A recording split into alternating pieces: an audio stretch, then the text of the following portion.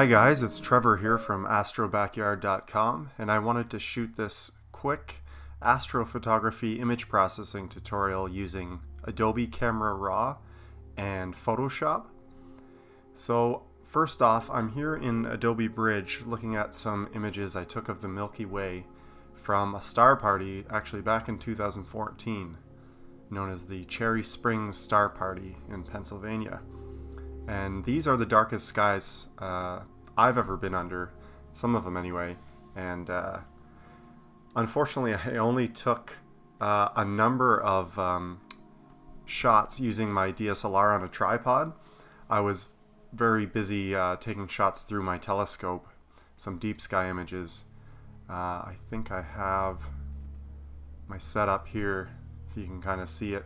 This is my uh, 8 inch reflector on my HEQ5 mount.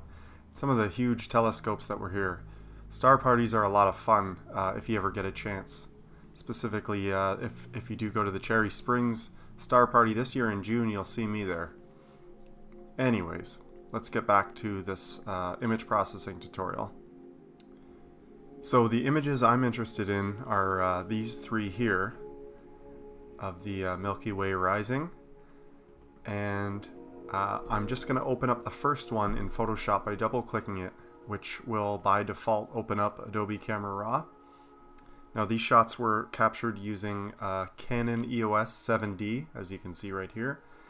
And the lens I was using was uh, an 18 to 200 millimeter zoom lens from Canon.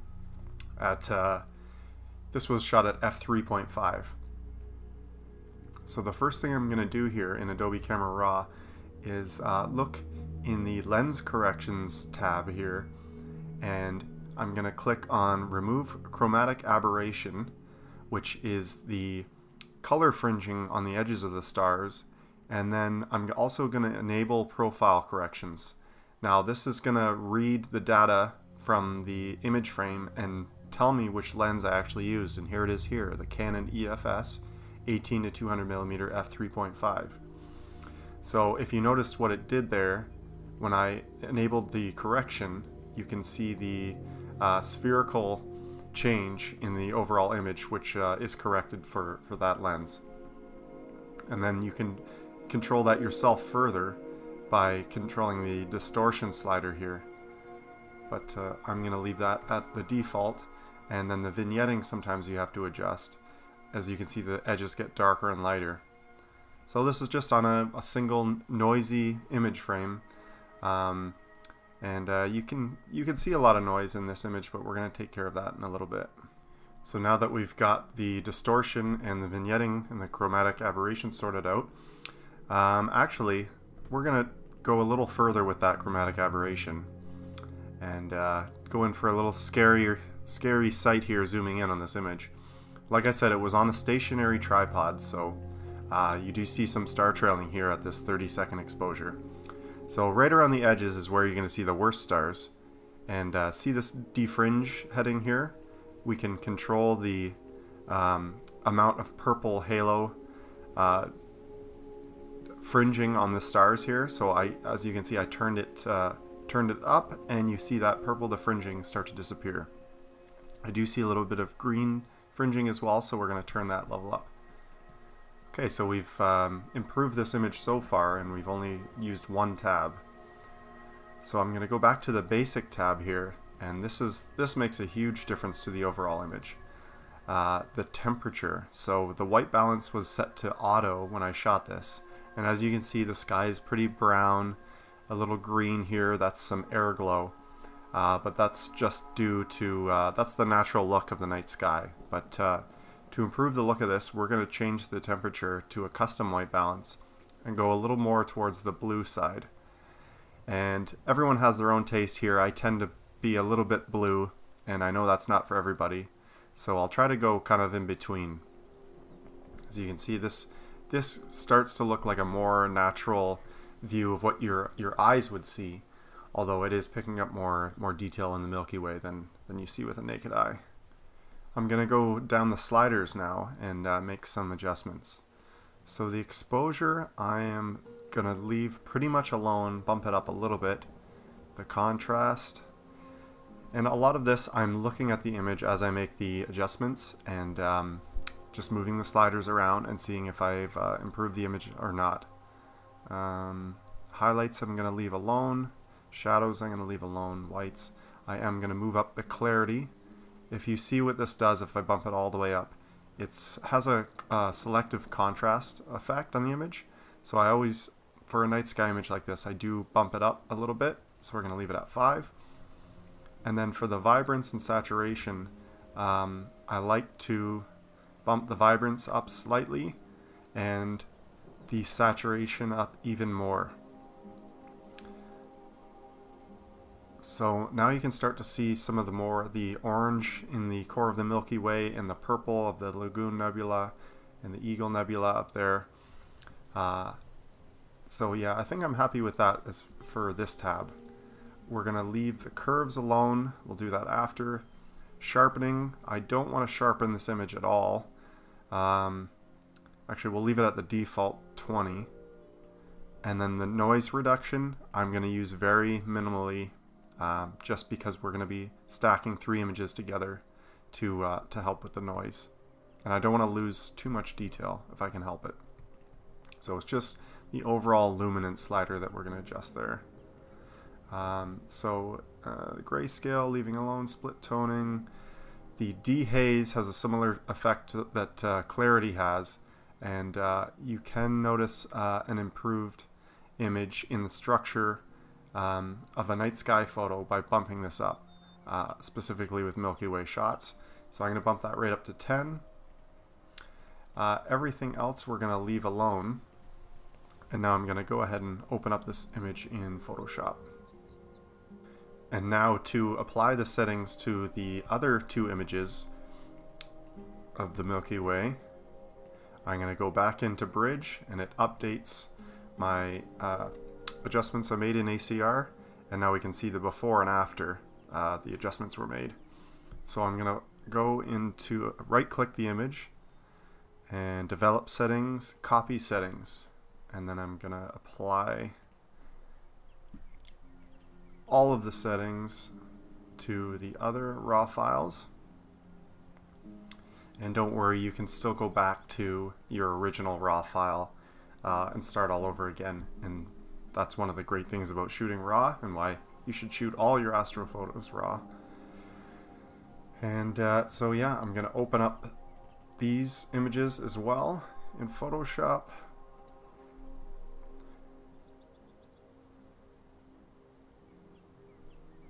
And stack them together. Now, if you had more than three images, which is uh, recommended, um, you can use a script in Photoshop to load the images in, and it's located here. Uh, scripts, um, load files into stack, and then there you would select your, your raw files, and you don't want to choose um, automatically align images if you do have a foreground subject like the trees in here, because it's going to try to align that and not your stars. So you'd still want to manually stack the images the way we're going to do it right now. So I'm just selecting this frame, pasting it as a new layer on my original, and close it now. And then frame number three, I'm going to paste that as a new layer as well. So we can close this image. And now we have our three images combined and as you can see, if I turn the frames off, the sky is of course moving because these were shot on a stationary tripod and the earth is spinning. So we'll start with the first frame here. I'm going to turn the opacity down to about 47%, around 50. And then using the move tool, I'm going to line up the stars and use the arrow keys on your keyboard as well. That's helpful. And it doesn't have to be perfect. Um, but basically, you can tell if you're lined up by turning the layer on and off. You'll see this, the trees move here, but the stars are in fact lined up. And now I'm going to use the top layer here, turn it down to 50% again, and line this up with the bottom frame. So if you have a big stack, you want to keep lining it up with the original background layer rather than your, your latest frame. Otherwise, you'll get farther and farther off. So again, we turn it off and on and we are right on top of each other. So now layer, the background is of course at 100%, and we're going to change layer 1 to 66%, and layer 2 to 33%. Ooh, it looks like we've got some movement here. This is half the fun of uh, inspecting your image. I'm not sure what this is here, but it's moving along in each frame. So, like I said, half the fun of stacking, you see uh, what stays in the same spot and what doesn't. I'm not quite sure. It really looks like a star, but uh, obviously it's not. Doesn't seem a satellite would be moving faster than that too, so I don't know.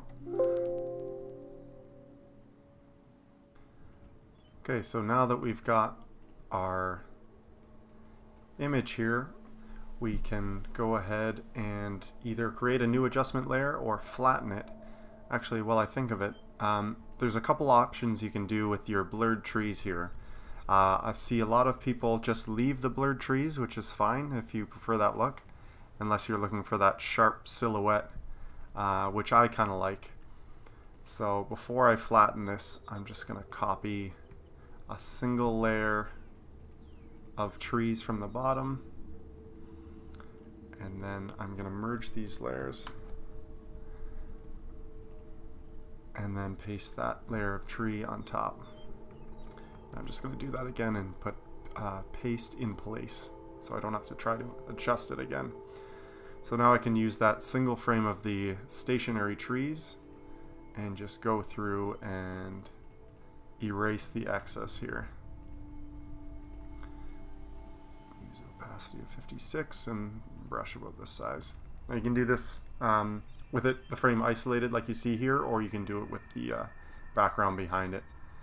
Um, and of course you can get really uh, a lot more precise than I'm doing right here. Uh, but just so this tutorial isn't uh, as long as a normal processing session for me, which would normally take me hours and hours. Okay, so you get the idea there. And just so you can see the difference of the before and after of the, the tree layer from blurred to sharp. Okay, just make a new adjustment layer here on top. And now we can do our final processing to this image. Uh, I'm going to try out curves, although you don't want to go too far on this. Especially with a noisy image like the one we have here, using only three frames. So I think we improved it slightly there, but we definitely brought forth the noise a little bit. Uh, now for the most important final processing steps for an image like this. Uh, just so it doesn't kill my computer, I'm going to make this file a little smaller and flatten it. We're going to make it to 2000 pixels. And I'm going to run some of the actions in the Astronomy Tools action set. Uh, I'm going to run increase star color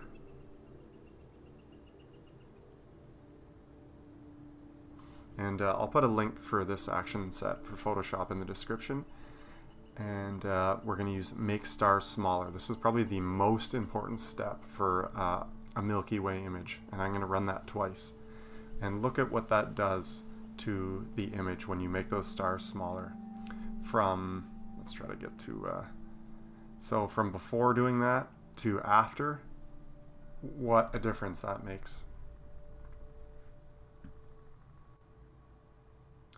So that pretty well does it here um, for this quick tutorial. And uh, there's a number of other things you can do. You could uh, do some selective sharpening and, and, some more contrast boost here, but um, yeah, you can really get carried away. But uh, I, I really do like the, the look of this, and uh, it's quite a natural look. I'm just uh, toying around here with uh, adding a, color cooling filter on top to get closer to that blue look that I like. So I've got this cooling filter here at 15% and uh, I think I kind of like the way that looks. It's a little less natural but um, looks very cool to me. So here's my final image for now and you can do some um, noise reduction as well.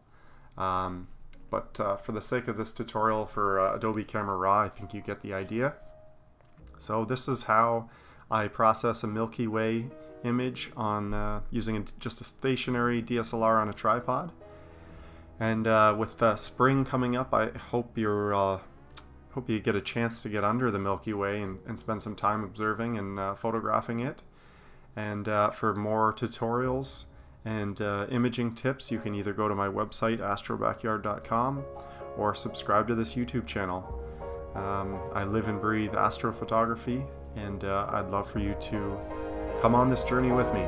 So thanks for watching.